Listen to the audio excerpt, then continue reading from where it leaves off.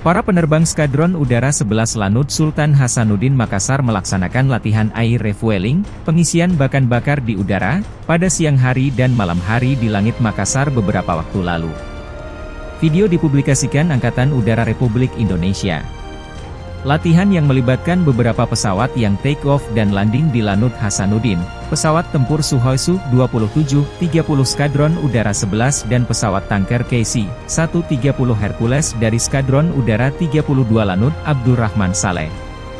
Latihan bertujuan meningkatkan kemampuan penerbang yang terlibat dalam air refueling baik itu penerbang Sukhoi maupun penerbang KC-130 Hercules terkait teknis air refueling saat melaksanakan operasi yang jauh dari pangkalan udara, di mana koordinasi yang sangat baik sangat diperlukan demi terlaksananya misi air refueling dengan aman. Air refueling sangat diperlukan untuk menambah daya jelajah dan meningkatkan radius of action dalam suatu misi pertempuran bagi sebuah pesawat tempur serta kemampuan itu dibutuhkan mengingat luasnya wilayah kedaulatan udara nasional yang harus dipertahankan dari segala bentuk ancaman.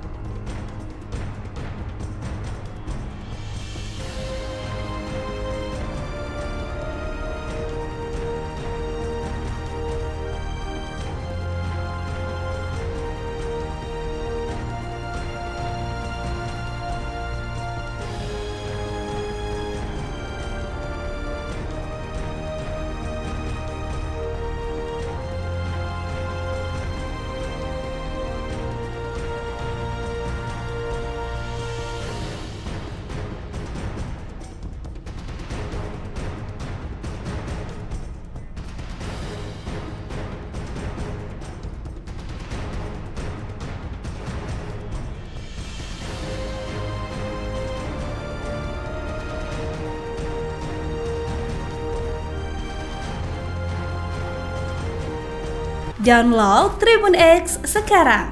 Menghadirkan lokal menjadi Indonesia.